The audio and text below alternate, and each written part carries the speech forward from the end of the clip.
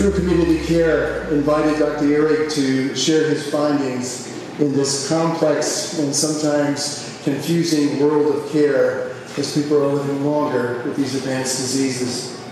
So I ask that you please join me in listening and learning and to welcome Dr. Ihrig to us tonight. Thank you.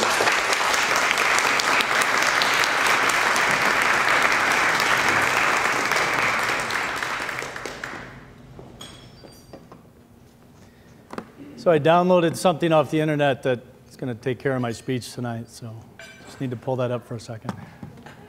Just kidding. So thank you so much for that uh, gracious introduction. And thank you for the invitation. It is an honor to be here with people who many years ago thought that this space that we work in and all of us will come to uh, needs to be treated differently. And so I honor the journey that you've been on. And uh, as far as thought leader, I am merely carrying on the tradition of trying to care for human beings. So it's, uh, it's a collective, so I thank all of you. When I speak around the country and around the world, it's always an honor to come and learn and grow and listen and collaborate in a collective manner so we can change the world. I don't say that lightly. I think the opportunity for us is to recognize what is a uniquely human experience, to embrace it, understand it, not shy away from tough conversations, that space, and have a collective dialect that resonates from border to border and really moves the pendulum in the right direction for care. And as I'll talk about a little bit later, uh, there are some economic factors. But it's all predicated on meeting each individual one day at a time, one hour at a time, one minute at a time. I come to this space as a physician, as a parent, as an educator, as a former board member, and most recently as a true human being, having walked this journey with my own mother, who boss, excuse me, uh, passed away about five weeks ago. So this is the first engagement I've had with that perspective. And, and I bring that forward as a very valuable, humbling experience. So I'd like to frame our time together as an opportunity again to engage, to set aside the conflicting paradigms and platforms that invade our lives daily. So, as physicians, there's the human being, a biologic entity that, with absolute certainty, has a beginning and an end. I choose to look at the end as not the opposite of the life, but a culmination of. So the conversation is how we live and love, learn, and grow through every breath. Our medical education system is a conflicting paradigm to this entity. We are taught to do things to pathology. I offer it is resonant with failure, because at some point for all of us, pathology or candles on a birthday cake, the system wears out. I was trained to do things to that system, and the more it wears out, the more we do to it. But what we know is the more we do to it, the faster this negative trajectory most often we fail to accomplish what we want to, which is increase life quality and life length. So it's a self fulfilling prophecy of failure. Other conflicting paradigms are the system of medicine. We need to do things to people rather than for them and with them. And I would challenge us and say, from a societal perspective. this being a very atypical crowd. But particularly in the United States, I've done a lot of work in Tanzania. I have a lot of colleagues and have spoken all over the world.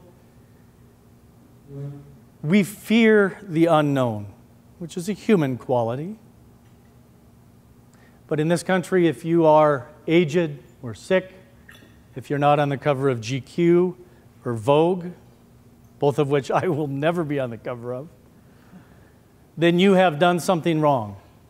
And so we cease to recognize this human experience. And it's bastardized by all these other entities. Death is an option in the healthcare system. There are more things we can do to you, but we fail to tell the truth, and we fail more often to offer complete transparency with what's going on at any given time. How did we get here? I think it's interesting to take a step back and understand the history of what brought us to tonight. We know that the insurance paradigm manifested shortly after World War I. After World War II, from a societal perspective, uh, there was the rise of the middle class, if you will. It was a golden age in industrialization, and technology began its march forward, as was mentioned earlier to the point that if we look back 60, 70 years when modern hospital systems were established, we weren't able to diagnose a lot of the things we do now. We weren't able to care for a lot of the things we are now. It was an acute care setting. You had a baby, you broke your leg, you went home. So the system is not set up to care for where we are today from a technologic standpoint or from a physiologic standpoint. It's just not prepared. Most recently, since I've been in this field the past 15 years, uh, the technology and the pharmacology has exponentially outpaced potentially thinking ethically about what we offer. I am certainly not ascribing to withholding care, limiting care, I'm just saying, just because we can doesn't mean we should. And we have put the cart so far in front of the horse, we find ourselves trying to backtrack and make sense out of the human experience and come to somebody's bedside and say, actually, this is not going to change the outcome.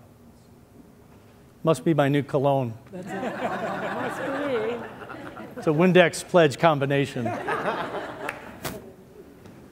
And so it's put us in a pickle as healthcare providers and as a society. We focus on curative measures. Everything we do as physicians is not curative. Every patient that I have ever seen and will ever see is going to die. I'm going to die. I don't want that to happen too soon, but it is an absolute and we need to discuss it, we need to honor it, and we need to change the way we think about it from a societal perspective and from a healthcare perspective. An interesting thing that parallels the growth and development of insurance and systems in the business model of medicine is the concept of risk. And as a healthcare system, we have become risk avoidant. At the top of most health systems are legal and financial Five years on the board of Unity Point Health System, which is not unique, okay? The second largest non denominational system in the country, I never heard the word patient. And we are an accountable care organization trying to transition from volume to value. I would say that that right there is antithetical to actually caring for a human being. And so the concept of risk pervades our conversations. I was in Washington, D.C. last week meeting with the head of Dartmouth, Brookings, Duke, research, health policy. How do we need to shift and change to have a conversation that has meaning in this space to provide better quality care, which we know eventually will lead to the economic outcomes that systems want?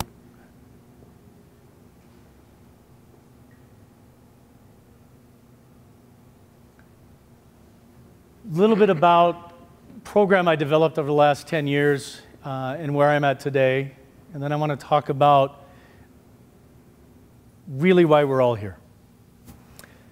So I came from a rural affiliate in the Unity Point Health System, had the great honor and privilege participating in a Medicare, Medicaid Centers for Innovation pilot program. Essentially had a whiteboard, they said, figure it out. Within the first three months of our program, we had a verbose inpatient consultation rate nearing 40%. We had a full time ambulatory clinic with three practitioners. We were embedded in every long term care facility within eight counties of northwestern Iowa. We were embedded in every tertiary care center and outpatient clinic within those same counties, made home visits. Wherever a human being could be touched or there was need, we did that 24 hours a day. Every patient I've ever had has had my cell phone number. We were embedded in the emergency department. We were part of the oncology team. So you came in for your first medical oncology visit. Here's social work, here's palliative care. It was seamless. We were embedded in the intensive care unit. And so when I say I've sat on the board, but I've also changed urine soaked sheets at 2 in the morning, I have. And that's the understanding about how to transform the space and the tremendous opportunity that TRU and Pace as a marriage have to define what is possible for this community and beyond. Again, coming from DC last week, we are yearning for success stories. And if that's my parole officer, I'm not here. and so it is a tremendous opportunity, and I honor the space that you come to to support this, and I hope it does not end tonight because it's not about writing checks. It's not just about providing fantastic centerpieces. It is a way of thinking and a way of engaging, a way of listening and hearing, sharing, and empowering others to challenge their own beliefs. So, palliative medicine, what is this entity? Over the last 10 years, there have been a lot of shingles held out across the country, a lot of health systems and clinics. It has been a hip thing to do. I would offer we are in our pre adolescence as a subspecialty. Just a decade into accreditation, we're still trying to figure out who we are and what we can and should be. Most often, it is circumscribed to come have the conversation, get them out of the hospital so they don't die in the hospital, get them to hospice. We don't want a regulatory ding, which is tethered to some financial penalties. Come have the talk. There is value in the talk. Palliative care and hospice are inexorably tied. different sides of the same coin. When we move upstream, however, I sat at 96 plus months life expectancy. So, not just six weeks or six months, but four, five, six years. That's where the true value of a palliative perspective, engagement with 50% of the body that is physiologic, and 50% of the body that is emotive, spiritual, religious if one ascribes to it. For no human being can move forward unless both halves are acknowledged and we are one being, whether it's the last days of our life or 25 years from it. As healthcare providers, if we fail to recognize that, then we're stealing from you. We're stealing from you the opportunity to choose to write your own chapters. Thank you for sharing earlier. It's a journey, again, that I've just experienced with my mother, who died from dementia and lung disease. And so years ago, we knew where this was going, and conversations took place. And so the last 12 months, I stepped away from my practice at Unity Point, and I've walked this journey with my mother and my father and the rest of our family. The last three weeks, we all camped out at mom and dad's house, drank a lot of wine, had a lot of laughs, celebrated the human experience while grieving, but we lived and loved and laughed and learned and honored her one moment at a time. She said, I don't want a funeral. Fierce, fiercely independent Irish woman. I want an Irish celebration with a lot of scotch. And so we honored her with a memorial service and celebrated that journey. So we can grieve, but we can live through that time as well. In palliative medicine is the confluence of that journey years before that moment in time in expertise in symptom management, transparency, coordination with other physicians, other health entities, and meeting the patient and their caregivers where they're at one day at a time. The first oath I took in medical education was the Hippocratic Oath, and the first line says, Do no harm. If I don't tell you, and I'm going to pick on you, okay? If I don't tell you the truth, X, Y, and Z disease, because I don't think you're ready for it, or I have this litany of things that can be done to you, I'm stealing from you. This is not my journey. This is your journey and it's your life. I need to be a servant to you and those that support you. Period. Need to go from here to here. A little bit of medicine, but a whole lot of care. So I'm going to ask how many have ever been to Amsterdam? And I don't need to know why because it's almost a moot point now in Colorado, but all right. So that's our stopping off point to Tanzania. And this is going to frame, hopefully, what has come before us and what predominates care presently. And then we're going to shift to talk about what is possible. In Amsterdam, who's been to the Rembrandt Museum? These are the cool kids. Rembrandt, Dutch master, Renaissance. Chiaroscuro, light out of darkness. If you look at a self portrait of Rembrandt, wow, it's powerful. There is value. The color palette, the brushstrokes are amazing. But when I've stood in front of that self portrait of Rembrandt, whether it is May or October, morning, night, rainy, sunny, hungover or not, usually hungover, it is just that, it is static. It's Rembrandt. That to me represents our healthcare system. It's a linear algorithmic model, it does not change. If A, then B, then C, then D, then E. Regardless of where we are on our journeys. We know with emphatic proof that does not work. It's probably why I Woke up one day and said, This is what I have to do. Personal experience, looking around, tasting that flavor, and saying it can be better. Come back across the Atlantic. Who's been to the Museum of Modern Art, New York City?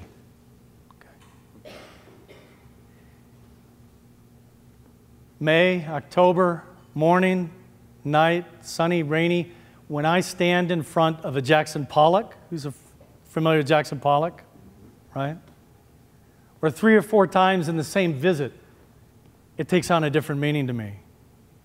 This is the algorithm of life. The painting changes depending on who I am, what I've experienced, where I'm at on my journey. Why do we find it so difficult to transition to a Jackson Pollock mentality in our own lives, let alone healthcare? I see parents say, Johnny, let's just keep walking. This doesn't make sense. It doesn't make sense, but life doesn't make sense. Life is full of ambiguity and risk and the unknown. Every patient I've ever had, I ask, Are you afraid? They inevitably say, I'm not scared of dying. Not the question I asked. They say, Doc, I'm afraid of getting dead. What's that really mean? That's the ambiguity, that's the unknown. From this point in time, whether it's six hours or six years, to that line in the sand that is a physician, a preacher, my grandfather was a preacher, and anyone in between, I can't change that line in the sand. I honor it, I respect it. But this is what we need to change. We need to transition from a Rembrandtian perspective to a Jackson Pollock perspective. So, how do we do that?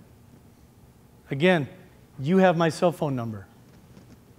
You call me 24 hours a day.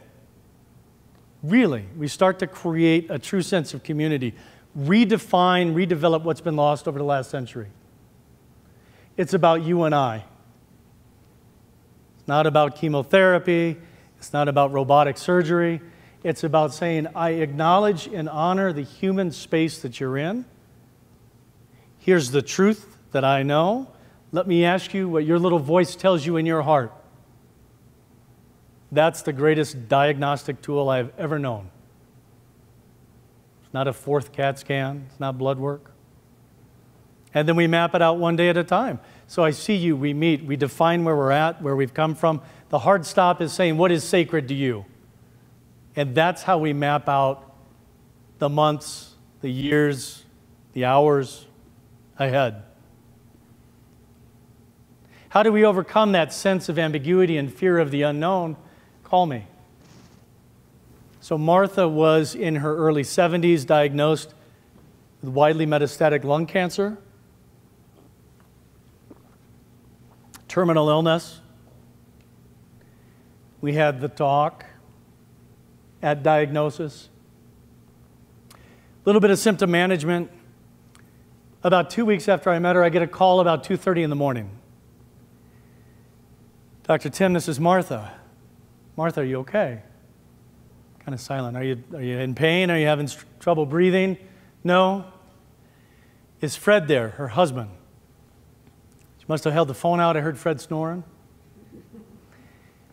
I said, What's going on? She said, It is that time where I feel most alone and most vulnerable, the most uncertain, the most ambiguous time. Everyone's asleep. I don't want to wake them, not because they're not there for me, but it's a space that they're struggling with as well. I just feel alone. Can you be on the phone with me? Absolutely. Few minutes later, she says, Doc, she kind of chuckles. She said, I have a favor to ask. I go, What is it? She said, Will you read me a story? I said, There's Dr. Seuss or Curious George. That's what you got. That's all I got. The point is, it's not a bell, it's not a whistle, it's a humanness. I didn't do anything miraculous for Martha that night. I acknowledged that space she was afraid of the closet monster. We turned on the light one day at a time. Our own vulnerabilities often preclude us from stepping into that space. Again, this is an atypical crowd, but most people fail to realize the power of walking that journey with another. How much we can live and learn and grow and be present in this space. That's what we need to transition to, to recreate a sense of community where we care for each other. In Tanzania, I can't get a Tylenol. Work in the remotest parts of the country. You drive three hours to go 20 miles. You get out and hike for an hour to go a couple kilometers. You come to a patient's house who's dealing with fill in the blank. They've had a stroke, it's HIV, it's cancer. What am I doing there? I'm learning how to live, how to acknowledge, how to listen and hear. The power of that space is transcendental. The care that is offered through that exceeds 99% of the care I've seen anywhere in this country. People in Tanzania don't want to die any sooner than we do, but they recognize it is a fact of life. And not that it invades every dinner conversation.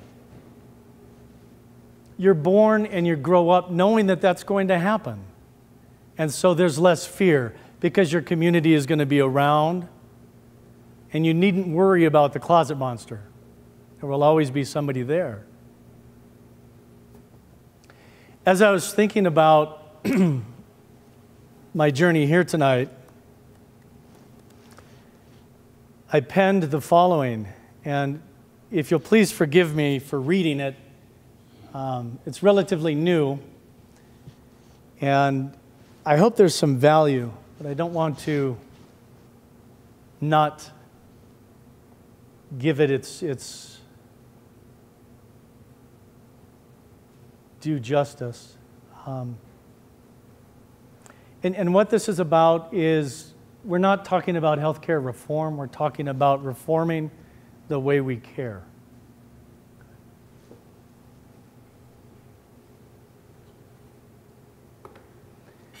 So, over 20 years ago, while making my way through the Monets Picassos and Van Goghs of the Metropolitan Museum of Art in New York City, I stumbled upon a piece that moved me deeply and continues to capture my interest and inspire me today.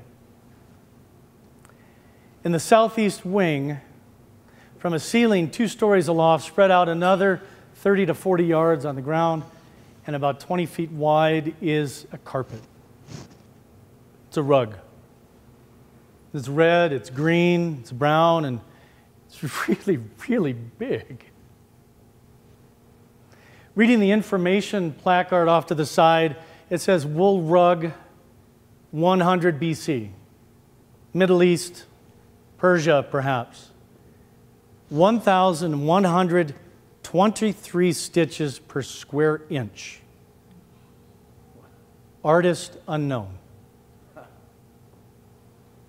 I was breathless. I stood there, stunned at first because of the, the sheer size of this carpet and this work, and then the 1,123 stitches per square inch, or 161,712 per square foot, or roughly 116 million stitches in all. An immense amount of work. Years, decades, a lifetime, generations. And as I stood there, I was struck by the words that echoed artist unknown. There before me was this amazing work. I was curious who this individual was. How did they live, love, laugh, cry, learn? How did they die? And could they have possibly imagined the tremendous impact their work would have on another human being nearly 2,000 years later? Transfixed by this work, I stared, deaf to the commotion of onlookers and museum goers and life outside of this particular exhibit. And suddenly the greens and the reds and the browns, they melded into subtle hues of magenta and crimson and earth tones no longer merely a rug or a carpet. This, this was a tapestry of the artisan's life, this unknown artist. Each thread of the 1,123 stitches per square inch representing an experience, an emotion, connection to family, friends, the world, the universe, to themselves. For nearly half an hour, I just stared. The simple pattern, relatively nondescript at first, it, it began to dance, transformed into a delicate collage of asymmetrical symmetry, like underwater currents swirling Darwin's Island in the Galapagos. Powerful waves of cool and warm colors carried one away to a different time a different place. The top was different than the bottom, and the sides, and the middle. was different from the end, from the beginning. Mirroring perhaps times in that individual's life when they face challenges or times of change. The pattern indeed changed. Change. Change is another reason why we are here this evening. This is perhaps one of those magical opportunities for a letting go of former lives, practices, beliefs, ignorances, and embrace a future that transcends medicine and transcends how we have engaged in our own journeys and the journeys of those around us for many years the thread handed to all of us as caregivers, as human beings, can embody the spirit of true community. We who are gathered today have the opportunity to create a culture whose power lies in bringing together like minded individuals to effect positive change in the world. For we all seek significance.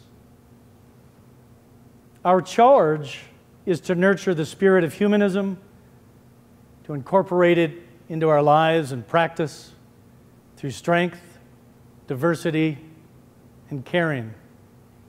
Strength, to have the courage to look beyond oneself. Diversity, to choose the path less traveled.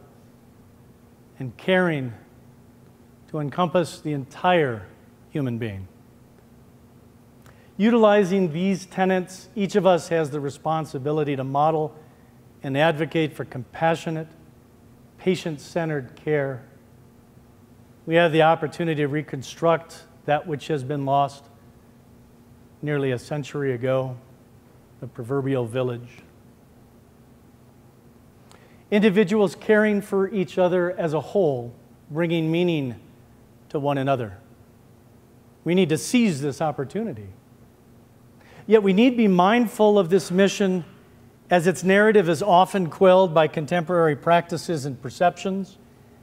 We're all faced with tremendous challenges extending us beyond the point of caring.